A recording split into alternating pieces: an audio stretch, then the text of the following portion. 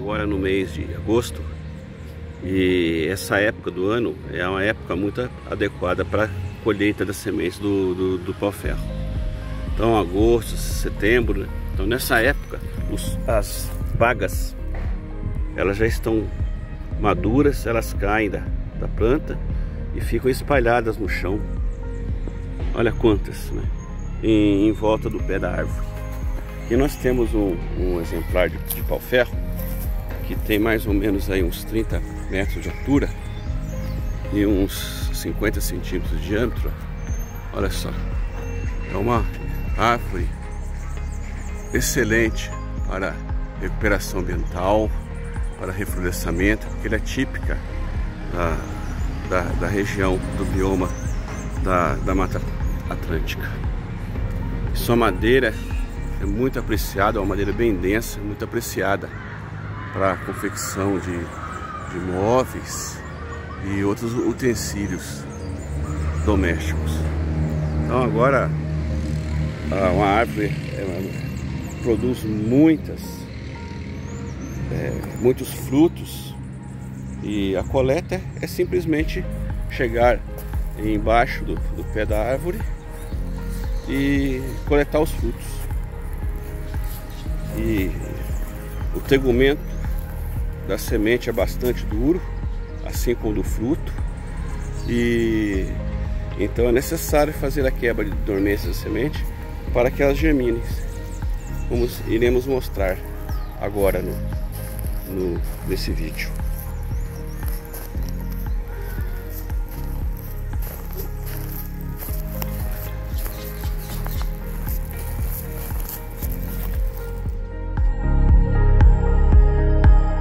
Aqui vamos mostrar como fazer a quebra do fruto para tirar a semente. O fruto tem uma característica que ele é muito duro e não tem muitas sementes no fruto. Então o Carlos aqui vai mostrar como fazer o processo de seleção. Porque geralmente os frutos dele, da semente, elas têm que ser separadas, porque as que sementes que estão fáceis de ser coletadas, que estão boas, são dos frutos que estão chacoalhando, né? Por exemplo, esse daqui, o Carlos está vendo aqui, ó, não, não tá bom, tá? Agora vamos pegar um outro fruto aqui. Esse fruto aqui, as sementes já estão chacoalhando, já estão soltas dentro do, do, do, do fruto. Esses aqui são mais fáceis de serem coletadas, tá? Então vamos sempre separar aqui as, as sementes que estão nessa condição. Que eles estão soltas dentro do fruto para a gente fazer a, a quebra. Então tem que usar um alicate, porque o, o fruto é muito duro. Então, lembrando sempre os frutos que estão maduros, as sementes ficam soltas dentro dele. Aqui já, já é uma semente.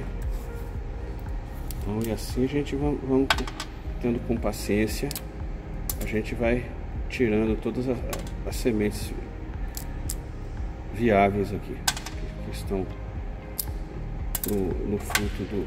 Aí, ó. Outra. Também a, a, semente é, é muito dura e, elas para serem é, é, germinadas, elas têm que ser escariadas para quebrar essa dormência física que existe na semente, que é o, o, o tegumento. Esse tegumento é tão duro que, que a semente fica aí meses na água e ela não entumece. Então já temos que quebrar essa, essa barreira física para que ela possa iniciar o processo de germinação. Então é assim mesmo, tem que quebrar com, delicadamente com o alicate até coletar todas as, as sementes que estão dentro. O Carlos aqui vai mostrar agora como fazer o, o, escalhamento. Aqui a gente já quebramos uma quantidade de sementes aí com o alicate, então como foi mostrado. Então nós temos as sementes do pau-ferro. Para isso, que a semente é pequena, vamos usar uma lixa fina. Uma lixa 320, tá? Para fazer o escalhamento da semente. Então, aí é só fazer de um lado, um pouquinho de um, de um lado e um, um pouco do outro lado. Isso já, já é suficiente. Mostrando um, pedacinho do, do embrião, já é suficiente para fazer aí.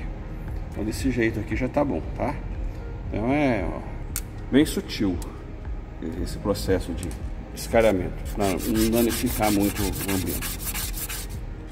Já fazendo, tirando um pouquinho do tegumento, ele já colocando a água, ele já enche. Tá, aí já tá bom. É, tem que fazer isso porque senão a semente é muito hidrofóbica, então leva-se meses para que essa, esse tegumento seja rompido. Então por isso que a gente tem que fazer essa, esse auxílio no, no processo de germinação da semente. Principalmente dessas sementes que tem a, a casca muito dura. Todas temos que fazer isso. Vamos faz, fazer umas poucas sementes, já é suficiente. Para a gente deixar na água e entumecendo por, por 24 horas. Então agora vamos quando as sementes já estão escariadas. Estão até mostrando um, um pequeno pedacinho do embrião. Vamos colocar na água e deixar elas por 24 horas. Elas vão inchar bem e aí já está no ponto da gente fazer a semeadura delas na, no substrato de 25% de gel e 75% de areia. Passaram 24 horas que elas ficaram na água, vamos mostrar. Essa daqui é a semente que não, não foi colocada na água, tá? Então, depois que a gente colocou ela na água, que escariou, então a primeira fase do processo de germinação é o entumecimento. Tá? A semente tem que desenvolver. Então ela cresceu bem, tá vendo? Olha só. Entumeceu bem. Então essa condição aqui que ela está boa para fazer a semeadura. Tá? Então essa, essa semente que nós vamos colocar agora no, na mistura do, do e, e areia. fazendo a preparação de um litro do hidrocilo germe. Então vamos colocar aqui um litro mais ou menos, que é um, um quilo de água. Vamos usar 7 gramas do hidrocilo germe. Então, aproximadamente um litro. Né? Então, aí já está. Então aqui já está, ok, um litro. E agora vamos colocar 7 gramas.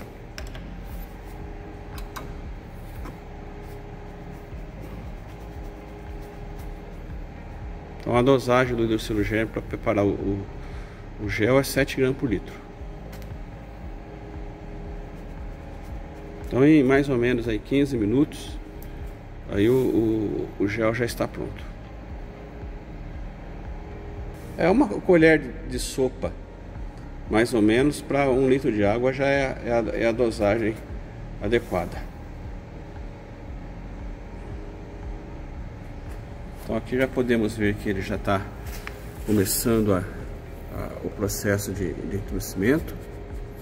Daqui 15 minutos aí ele já está pronto para ser usado na mistura que vamos fazer com 25% do, do gel para 75% de, de areia. Então o entumecimento dele é rápido. Então é, é isso aqui, preparação do do, do Vamos fazer agora o substrato de germinação da semente, contendo os 25% do gel, do seja que está pronto, com 75% de areia. Então vamos pesar um quilo e meio de areia.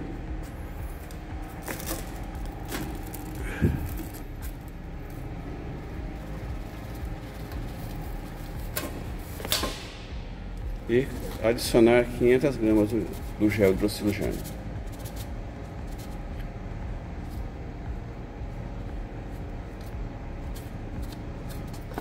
Então agora vamos colocar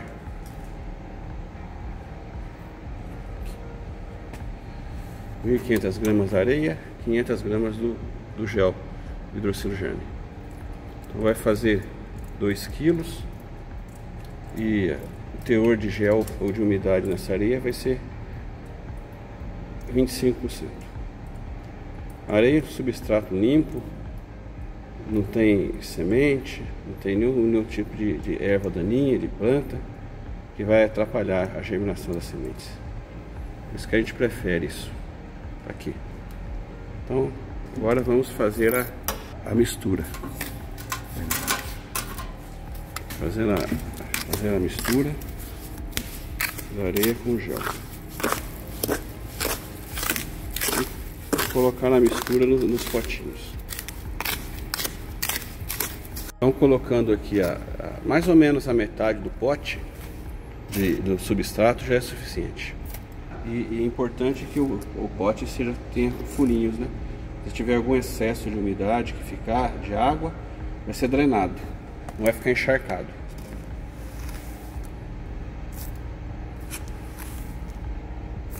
Aí.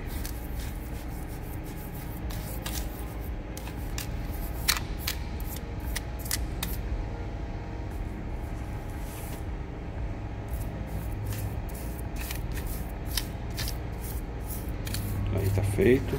Vamos colocar as sementes. Vou colocar agora as sementes. As sementes vão ficar mais ou menos aí um, uns 5 milímetros de profundidade e a gente vai cobrir ela com substrato. Afunda só um pouquinho e deixa ela, ela coberta assim.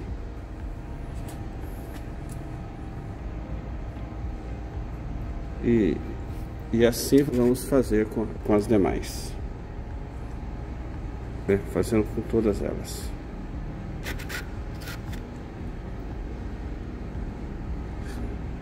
Não afundando muito e deixando elas na, na profundidade mais ou menos isso é suficiente para ocorrer o processo de germinação.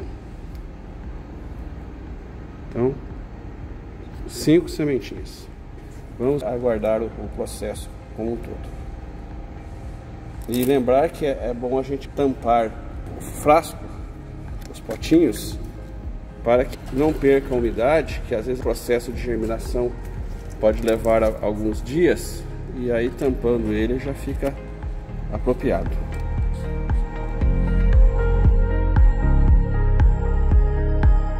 Aqui estão o resultado da germinação das sementes do pau-ferro. Então essas mudinhas estão com 20 dias. Hoje é dia 28 de 8, colocamos no dia 12 de 8, olha, olha que beleza. Então elas germinaram muito bem, estão se desenvolvendo. E assim que elas tiverem mais ou menos aí uns, uns 10 centímetros acima do, do pote, a gente já vai fazer a transferência delas para o, o vasinho com terra para continuar o, o, seu crescimento lá.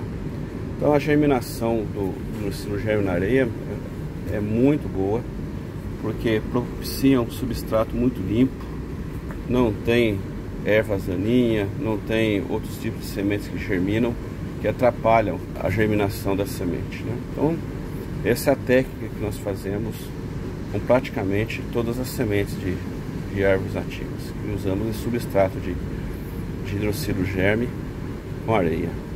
Então, por exemplo, aqui já tem, temos umas mudinhas que já estão maiores, olha, olha só.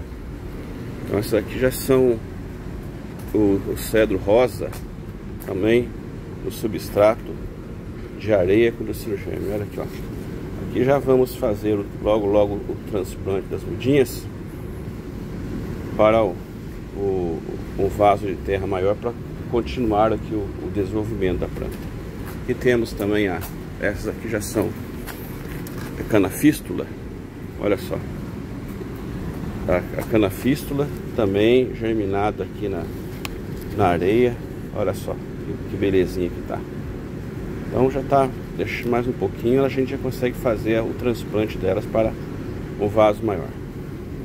Então a germinação do, do pau-ferro nessas condições que nós mostramos foi muito, muito boa. Então é, nós recomendamos que vocês usem essa metodologia e vai dar certo na produção das suas mudas de, de árvores nativas, como o pau-ferro.